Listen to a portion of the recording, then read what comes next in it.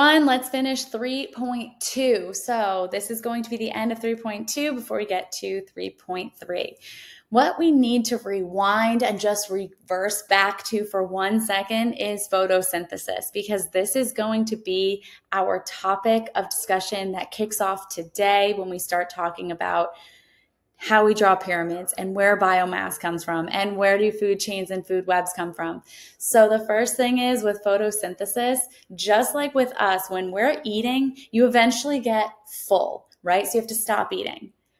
Plants are the same way. So organisms that do photosynthesis are the same way. They can only absorb so much sunlight before they need to kind of digest, right? So they need to take in that carbon dioxide and water and light and create or convert that energy into glucose and oxygen. So the light and carbon dioxide are actually going to limit how much photosynthesis can occur. So what will happen is photosynthesis will plateau. It'll increase, the rate of it will increase until a certain point until the plant can no longer take in any more carbon dioxide or any more sunlight. So exposing a plant to more sunlight than normal won't necessarily increase the rate of photosynthesis in a plant, especially if it is excess sunlight, so too much sunlight.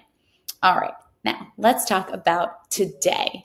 So today we're going to look at feeding relationships still, but now let's look at biomass because thanks to photosynthesis, that's what allows for more producers.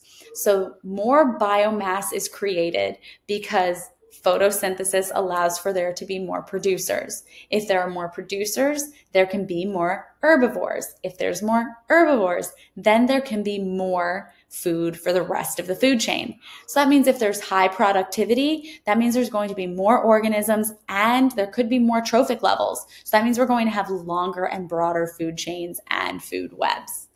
So here we have a food chain and a food web. In the center, we're looking at a food chain.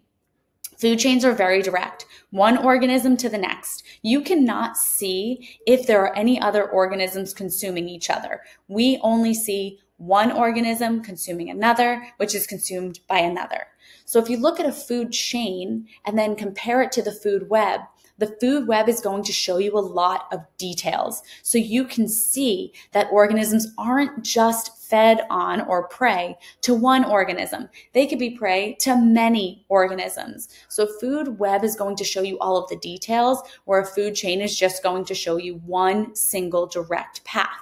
So for example, if we were to say, I'm going to move myself, if we were to say right here, this krill was eliminated, it no longer existed, it died off.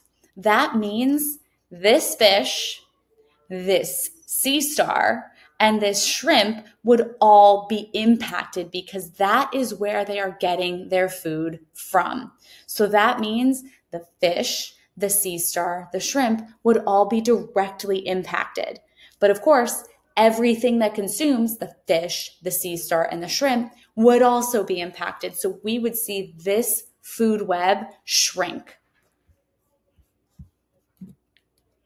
Energy transfer. So when we talk about like kelp, right? Kelp is a photosynthesizer. When kelp, right, does photosynthesis, it's going to release energy, which means that when something consumes the kelp, like a sea urchin, it's going to use the energy from the kelp to have its own energy. And then when the sea urchin is consumed by, let's say, a sea otter, then that sea otter is gaining energy from the sea urchin. And slowly over time, you'll remember that 10% rule. It's not a perfect 10%.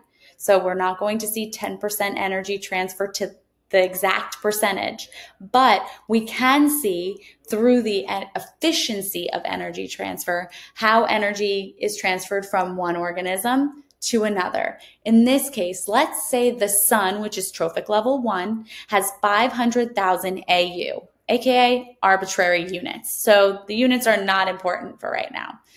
But the kelp is going to absorb the energy from the sun for photosynthesis it's going to have 5,300 AU or atomic units. What you would do in order to calculate efficiency of energy transfer, you're going to take the small number always. So that's going to be the new trophic level, which in this case is the kelp, trophic level two. And you're going to divide that by the larger number, AKA the sun. So we're going to take 5,300 and divide it by 500,000. And then to get a percentage, we multiply by 100. For this one, we do get 1%. But you'll notice with some of your examples, you may not receive 100% or that 10% rule. So this is going to be 1% energy transfer. Now, why isn't energy 100%, right? If you're eating something, why aren't you getting 100%? Well, the energy is lost. So, of course, depending if the organism has to hunt more, they're wasting energy or expending energy trying to find their food. Also, eating. Eating is going to, we have to use energy to break the food down. So we're going to lose energy as we are eating the food. Heat, right? So our body produces heat respiration, making energy. So we lose energy to make energy. We also are going to not eat all parts of organisms. So that means if we're not eating all parts of it, that's energy wasted and the means of energy transfer. Then we also have death, feces, urine. We know that teeth and bones cannot be digested. So that's also something that we cannot break down. Last thing, must know pyramids. So we draw pyramids like this for AS Marine. They're going to be rectangular boxes. Your rectangular boxes should always be the same height. So between trophic level one, two, three, and four, they should have the same height. And then of course, if you look at the pyramid of numbers, the pyramid of numbers actually is going to tell you how many organisms there are, right?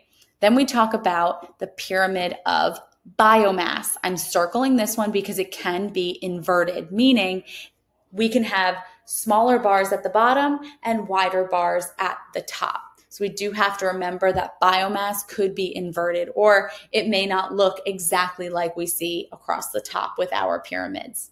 Then we have the pyramid of energy. Basically, that's just talking about how is energy transferred from the producers up to the top level consumers. Look at all the pyramids. It's important to realize we always keep our organisms that are known as autotrophs. That means they create their own or make their own food, right? They're going to be at the bottom. Top level consumers will always be at the top. So for this, please make sure you know all of your pyramids for AS Marine. You need to know that they are rectangles. We don't draw anything as a triangle. And of course, they the bars should all be the same height. So if trophic level one is five boxes high on a graph, then trophic level two should also be five boxes high on the graph, and so on. All right, everybody, that finishes 3.2. Now we're going to move on to 3.3. If you like the video, go ahead, like, subscribe below.